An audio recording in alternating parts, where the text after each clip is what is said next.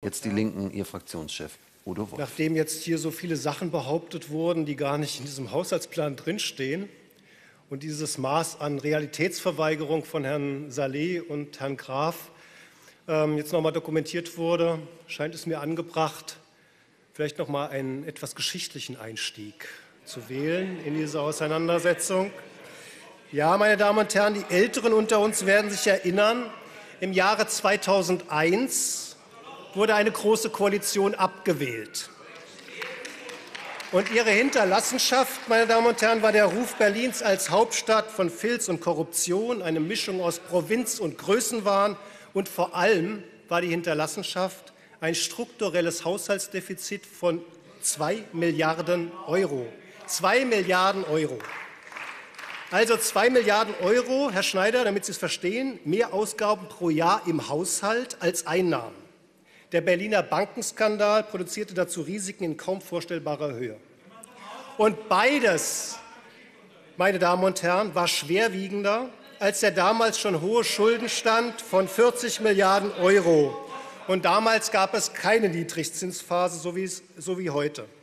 Es hat lange gedauert, bis die Berliner SPD damals den Mut gefunden hat, diese für Berlin so schädliche Regierungskonstellation zu beenden. Und es hat lange gedauert, bis diese lähmende Blockade gelöst wurde und die CDU auf die Strafbank zum Zuschauen verbannt wurde. Und dann hat Rot-Rot in Berlin den Laden aufräumen müssen. Das waren harte Jahre der Konsolidierungspolitik mit schmerzhaften Entscheidungen, manche über das vertretbare Maß hinaus. Und meine Damen und Herren, wir haben das nicht aus Spaß gemacht. Wir haben das getan, um vor dem Bundesverfassungsgericht die Anerkennung als Haushaltsnotlageland zu bekommen, damit Berlin Bundeshilfen bekommt, um aus dieser desaströsen Erbschaft der CDU-SPD-Regierung zu kommen. Und ja, meine Damen und Herren, wir haben gespart, bis es quietscht. Und das Bundesverfassungsgericht hat gespottet, das wäre noch lange nicht genug. Wir haben einen Solidarpakt mit den Beschäftigten im öffentlichen Dienst geschlossen. Die Kolleginnen und Kollegen haben durch Verzicht auf Einkommen einen Großteil dazu beigetragen, dass die Berlin die Chance auf einen ausgeglichenen Haushalt bekommen hat. Ihnen, den Beschäftigten des öffentlichen Dienstes, gebührt der Dank dieses Hauses und der Berlinerinnen und Berliner. Der Dank dafür, der Dank dafür, dass dieses strukturelle Defizit abgebaut werden konnte und dass wir seit einigen Jahren wieder Überschüsse im Haushalt verzeichnen können. Und ja, wir haben manche Instandhaltungsmaßnahmen und Sanierungsmaßnahmen geschoben und manches hätten wir sicher anders entschieden, wenn wir nur ein wenig mehr Spielraum gehabt hätten. Aber alles, was wir damals getan haben, alle schmerzhaften und schwierigen Entscheidungen, die wir damals getroffen äh, haben, all das hat den Zweck gehabt, wieder Gestaltungsspielraum in die Haushaltspolitik des Landes Berlin zu bekommen. Jede dieser Entscheidungen war verbunden mit dem Versprechen, und ja, Kolleginnen und Kollegen von der SPD, Sie haben das damals auch mit versprochen, wenn wir einen ausgeglichenen Haushalt haben, wenn wir sogar wieder Überschüsse haben, dann, meine Damen und Herren, wird in die bauliche, in die soziale Infrastruktur, in den öffentlichen Dienst, kurz in die öffentliche Daseinsvorsorge investiert. Und liebe Kolleginnen und Kollegen von der SPD, Sie wissen es ganz genau, gemessen an den Möglichkeiten, die wir gemeinsam durch die Konsolidierungspolitik eröffnet haben, gemessen an den Überschüssen, die es seit 2011 gibt. Diese letzten vier Jahre rot-schwarze Koalition waren verlorene Jahre für die Stadt. Sie haben die Chancen, die es gegeben hat, vertan. Ich erinnere auch deshalb an diese kleine Haushaltsgeschichte, weil was wir hier vor zwei Wochen ansatzweise gehört haben, zeigt, dass es nötig ist, Erinnerungen aufzufrischen. Ich sage das zunächst mal ausdrücklich in Richtung CDU. Es ist natürlich völliger Quatsch zu behaupten, die Oppositionsvorschläge zum Nachtragshaushalt und für die kommenden Doppelhaushalt würden den Schuldenberg vergrößern oder gar verdoppeln. Mal abgesehen davon, dass Sie für diese dumme und freche Behauptung keinen Beleg liefern können, das sagen ja dann mal die Richtigen die Stadt in die Schuldenmisere geritten, 15 Jahre keinen einzigen Konsolidierungsvorschlag gemacht und jetzt die Überschüsse ohne Sinn und Verstand zur Beute von Koalitionskungeleien zu machen oder wahlweise wegzuschmeißen. Sie sollten sich was schämen. Und aus der SPD-Fraktion wurde beim letzten Mal der gleiche Unsinn erzählt. Lieber Raed Saleh, Sie und Ihr Haushaltspolitischer Sprechen müssen ein bisschen aufpassen, dass Sie nicht die letzten beiden Sozialdemokraten in der Stadt bleiben, die das Rumtechteln mit der CDU eine gute Idee finden. Rot-Rot hat damals den Haushalt konsolidiert. Frau Popp hat es gesagt, die Grünen haben zumindest Vorschläge zur Konsolidierung eingebracht, die CDU aber hatte nur Forderungen fürs Geld ausgeben. Und es ist ein Treppenwitz der Geschichte, dass ausgerechnet die Konstellation, die Berlin in den Ruin getrieben hat, also eine Regierung aus CDU und SPD, nun die mühsam erwirtschafteten Überschüsse, die Früchte der Konsolidierungspolitik erntet und planlos verfrühstückt. Sie denken vielleicht, und so verstehe ich auch die ganzen Zwischenrufe von Herrn Schneider, wenn Sie im Wahljahr ein wenig mehr Kohle raushauen, kriegen hier alle Glitzersternchen in den Augen. Nein, falsch gedacht. Nicht nur Haushaltsdefizite sind Grund, um sich aufzuregen. Auch wenn Geld da, das da ist, ohne Plan und Verstand ausgegeben wird, ist es ein Grund, um schlechte Laune zu kriegen. Und nicht erst in ein paar Jahren, wenn die fehlenden Investitionen noch teurer werden, sondern jetzt schon heute. Also erzählen Sie uns nichts über seriöse Haushaltspolitik. Im Unterschied zur CDU hat meine Fraktion bewiesen, dass sie was von Haushalt versteht. Meine Damen und Herren, Berlin steht im bundesweiten Vergleich, was wirtschaftliche Entwicklung in Finanzen betrifft, gar nicht so schlecht da. Daran konnten auch zwei CDU-Wirtschaftssenatorinnen nichts ändern. Aber was die Investitionsquote betrifft, rangiert Berlin auf dem fünftletzten Platz bei den Bundesländern. Das ist schlecht. Noch schlechter sieht es aus, wenn man betrachtet, was notwendig ist. Berlin hat insgesamt einen Sanierungsstau von ca. 12 Milliarden Euro. Straßen, Brücken, Krankenhäuser, Schulen, Bäder, zu wenig qualifiziertes Personal. Und gleichzeitig hat das Land zwischen 2012 und 2015 mehr als 2,1 Milliarden Euro an Schulden am Kapitalmarkt getilgt mitten in einer Niedrigzinsphase. Die Zinsersparnis ist also eher gering. 2,1 Milliarden Euro, das muss man sich mal auf der Zunge zergehen lassen. Was hätte man mit dem schönen Geld alles machen können? Nur um an einem Beispiel die Dimensionen klarzumachen. Bei den Berliner Krankenhäusern haben wir einen akuten Investitionsbedarf, um einen Sanierungsstau aufzulösen, von ca. 640 Millionen Euro. Und Sie schmeißen die schönen Überschüsse ins Altschuldenloch? anstatt einen seriösen Plan zu erarbeiten, wie der Sanierungsstau abgebaut werden kann. Was für ein volkswirtschaftlicher Unsinn.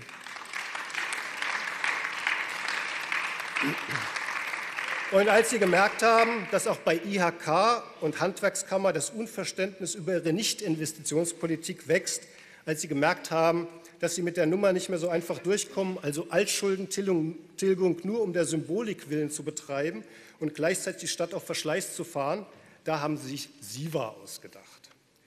Lieber Michael Müller, lieber Kulatz-Ahn, Siva, Siva ist doch ein bisschen sehr Nussbaum, oder? Sie haben es doch gar nicht nötig.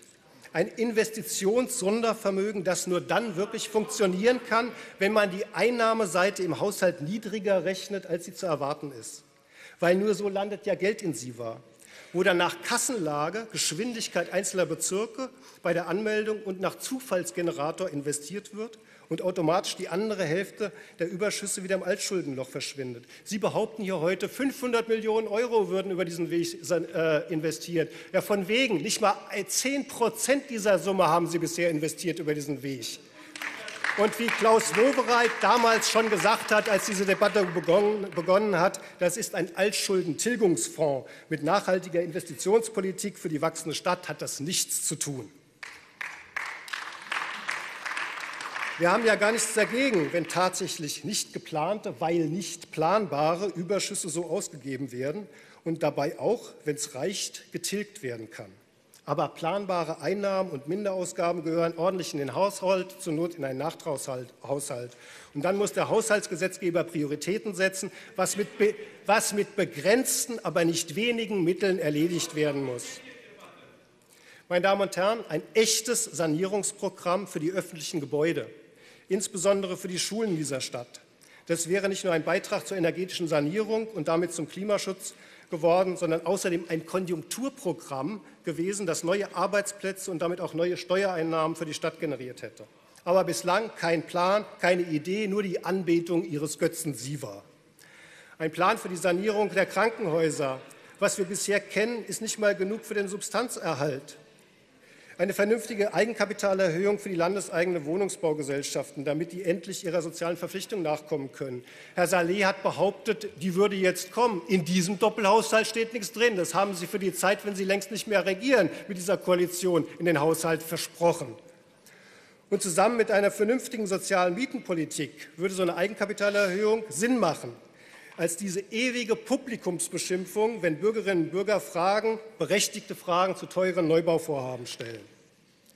Ein echtes Stadtwerk und kein Bonsai-Stadtwerk, das, liebe Kolleginnen und Kollegen von der SPD, wäre möglich gewesen. Herr Buchholz, schade drum, ne? auch diese Chance vertan. Ein Straßen- und Brückensanierungsprogramm, das auf die wachsende Stadt ausgerichtet ist. Ein Programm, das auch auf sich verändernde Bedürfnisse der Berlinerinnen und Berliner eingeht. Ich sage nur Radwege. Ein Personalentwicklungskonzept für den öffentlichen Dienst, das den Namen verdient. Eine Angleichung der Besoldung im öffentlichen Dienst an den Bundesdurchschnitt. Ein Wahlversprechen der CDU, wenn ich mich recht erinnere.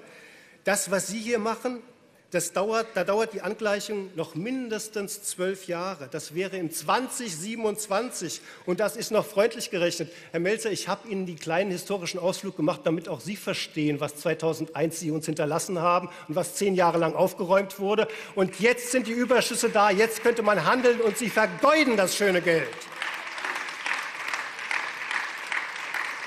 Was Sie machen, was Sie machen, ist nicht viel mehr als Propaganda.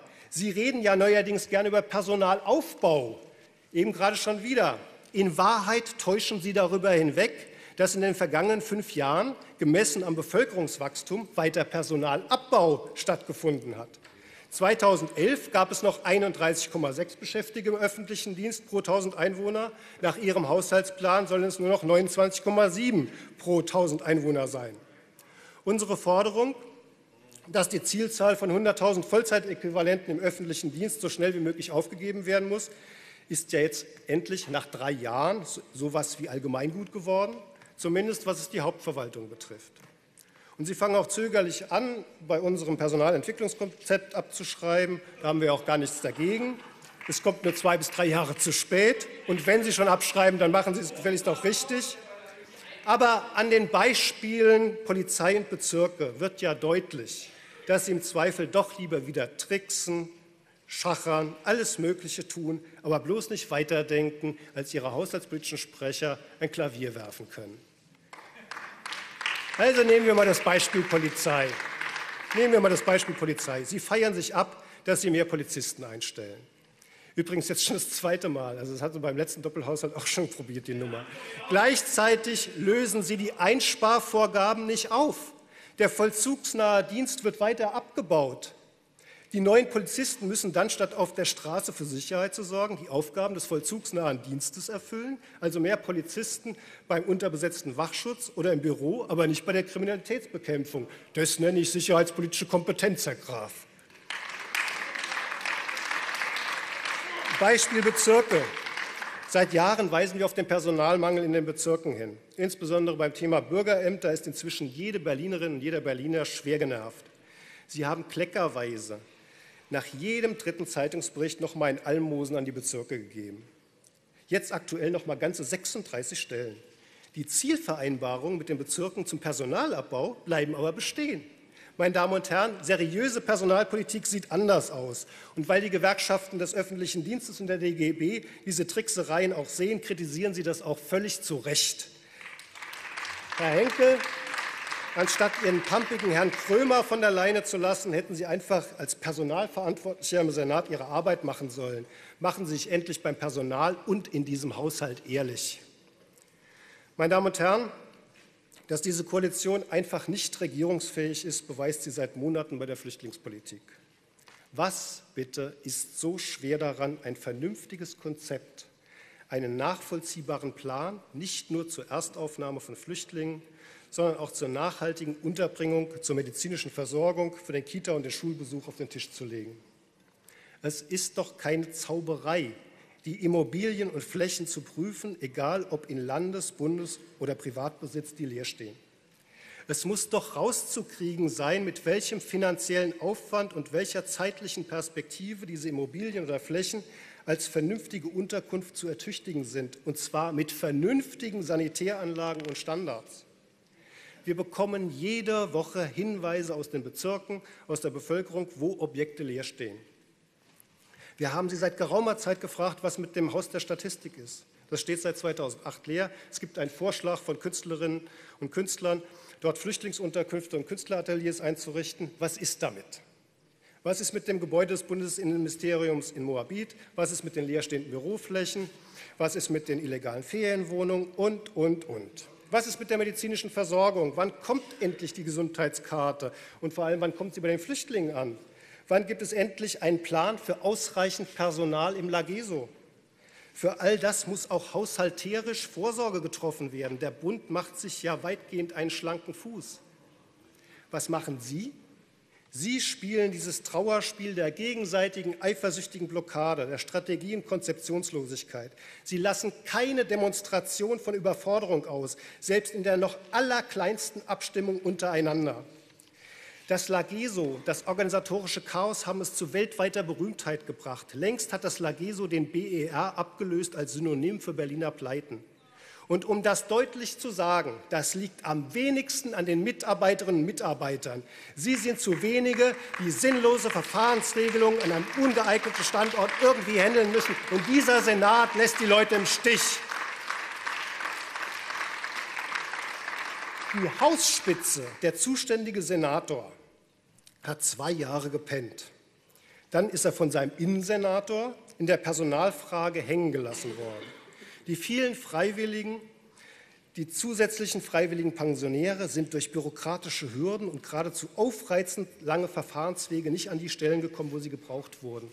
Herr Müller, wir haben zum Ende der Sommerpause darüber geredet, man macht so einen Aufruf für die Pensionäre, um sich freiwillig zu melden. Heute, heute, vier Monate später, kommt eine gesetzliche Grundlage dafür, dass man es auch organisatorisch hinkriegen kann. Das ist doch ein Possenspiel.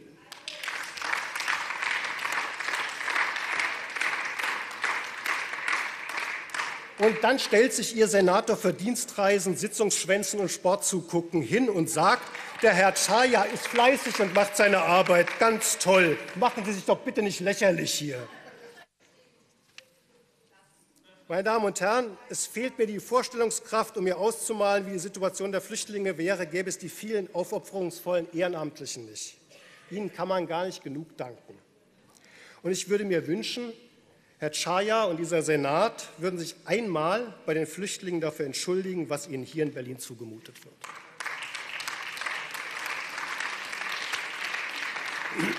Wer die Situation vor dem Lageso in den Massennotunterkünften kennt, kann die Geduld der Geflüchteten nur bewundern. Es ist ein kleines Wunder, dass es bisher nur selten zu Problemen mit Gewalt gekommen ist. Geduld brauchen ja offensichtlich auch die Betreiber der Unterkünfte, wie wir vor wenigen Tagen gehört haben. Bei denen hat der Senat inzwischen Außenstände in zweistelliger Millionenhöhe.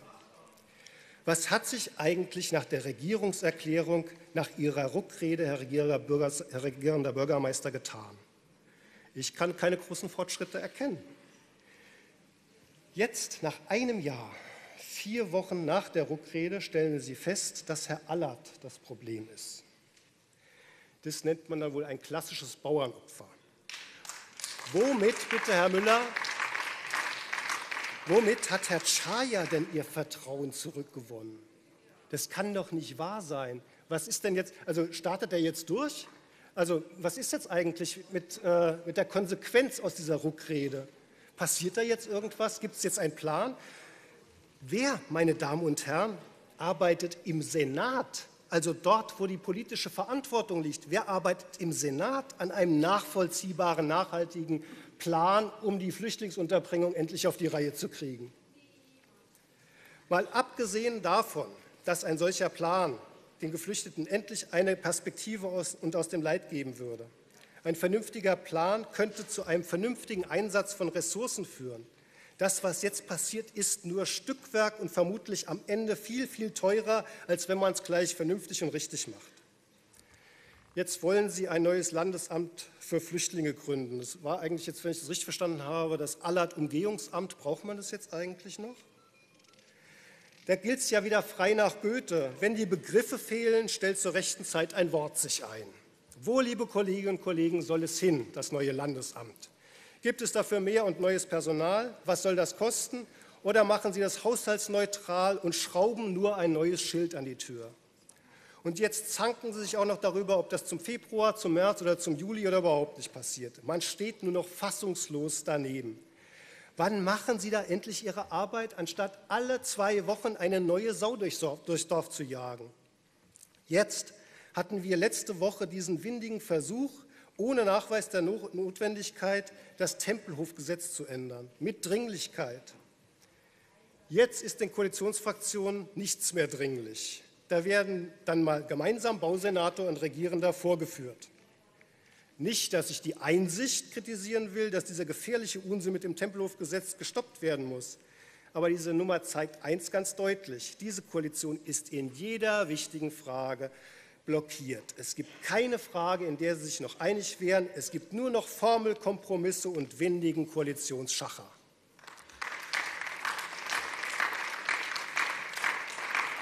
Meine Damen und Herren, ein nachvollziehbares Investitions- und Konjunkturprogramm, ein Personalentwicklungskonzept für den öffentlichen Dienst, das zusammen, um einen längerfristigen Plan, zur Auflösung des Sanierungsstaus zu entwickeln, die wachsende Stadt nicht als propagandistische Floskel, sondern als gestalterische Aufgabe zu begreifen. Denn Wohnen muss bezahlbar und menschenwürdig sein, auch für Menschen mit geringem Einkommen, für Studenten, Rentner, Transferleistungsbezieher und Flüchtlinge. Das waren die Aufgaben, die vernünftig in diesem Haushalt abzubilden wären, da Vorsorge zu treffen. Ein Masterplan für Investitionen über den Horizont dieses Doppelhaushaltes hinaus aufzuzeigen. Das alles haben Sie nicht geleistet. Sie sind mit der ihnen eigenen Chutzpe mit Anlauf unter der Messlatte durchgetaucht. Eine alte Tradition von CDU und SPD-Regierungen haben sie stattdessen wieder aufleben lassen, die nächtliche Ausschüttungsrunde zum Ende der Haushaltsberatung. Das funktioniert nicht nach dem Prinzip, was braucht die Stadt, das funktioniert nach dem Prinzip, welche Trophäe darf welcher Koalitionspartner nach Hause tragen. Herr Saleh, Herr Graf, dass man da den Quatsch auch noch Quetscher machen kann, ist schon eine besondere Leistung. Die Berliner SPD macht eine Umfrage zu ihrem Wahlprogramm und fragt unter anderem auch zur Kita-Gebührenfreiheit. Zwei Drittel der Befragten sagen, so wie im Übrigen auch alle, die was davon verstehen und die übrigens auch die Kita-Tabelle richtig rechnen können, wie zum Beispiel das Kita-Bündnis, selbst die zuständige Senatorin weiß es, es gibt im Moment viel wichtigere Probleme in der Kita als das. Zum Beispiel es fehlen Plätze, es müsste dringend in Qualität investiert werden, man bräuchte nicht nur einen besseren Betreuungsschlüssel, nein, auch die Leiterinnen müssten freigestellt werden. Aber Herr Saleh und Herr Schneider und der unvermeidliche Herr Buschkowski aus dem Off meinen, das macht sich gut im Wahlkampf. Das Geld, was in der Ausschüttungsrunde sinnvollerweise in die Verbesserung des Betreuungsschlüssels gehen soll, wird durch die Gebührenfreiheit auf der anderen Seite dem System gleich wieder entzogen. Dafür bekommt die Union dieses ominöse Sicherheitspaket geschenkt. Das just in dem Moment, als der Innensenator erklärt, dass es keine Änderung der Sicherheitslage in Deutschland gibt. Herr Kraft, Sie müssen sich einfach mal sicher, also sicher machen in der Frage, was Sicherheitspolitik so ist in dieser Stadt, wie das funktioniert. Fragen Sie nicht Ihren Senator, der hat da nicht so viel Ahnung von. Dass das pure Symbolik ist, was Sie mit diesem Sicherheitspolitik da gemacht haben, wurde im Hauptausschuss dann endgültig bestätigt. Keiner der Koalitionäre konnte Auskunft geben, was eigentlich drin ist in diesem Sicherheitspaket. Mann, Mann, Mann, Ihnen ist auch echt nichts mehr peinlich. Meine Damen und Herren, Ihr Haushalt ist ein Haushalt der verpassten Chancen. Was Sie heute hier verabschieden wollen, hat immer noch keine strategische Linie, kein Konzept, Sie sind angetreten damals als die große Infrastrukturkoalition. Die einzige Begründung für Ihre Regierungsbildung war das Bekenntnis zu Großprojekten, als Beispiel diese dieses unsinnige Stück A100. Der BER ist immer noch nicht fertig, die Staatsoperkrise ist dazugekommen. Das wollten Sie mit einer vollständig albernen Olympiabewerbung aus den Augen, aus dem Sinn kriegen. Zum Glück ist dieser Kelch an uns vorübergegangen. Nicht nur, dass das die größte öffentliche Geldverbringung seit dem Bankenskandal geworden wäre, sie hätten es auch organisatorisch verbockt. mit Blick auf die Situation vor dem Lageso. Welcher verrückte Teufel hat Sie eigentlich geritten, dass sich die Organisation Olympischer Spiele in Berlin zugetraut hätten? Meine Damen und Herren, gemessen am eigenen Anspruch, die Große Koalition könne große Projekte und große Herausforderungen stemmen, haben Sie nicht allzu viel hinbekommen. Dieser Haushalt leistet keinen signifikanten Beitrag, den Sanierungsstau aufzulösen. Er löst in keiner Weise das Personalproblem im öffentlichen Dienst. Es gibt keine Antwort auf die Herausforderungen der wachsenden Stadt. Dieser Haushalt ist der brüchige Kitt, der eine Koalition zusammenhält, die politisch längst mausetot ist. Sie haben im Hauptausschuss unsere Anträge abgelehnt. Wir werden Ihren Haushalt ablehnen. Er wird ohnehin die Koalitionsverhandlungen 2016 nicht überleben. Dankeschön.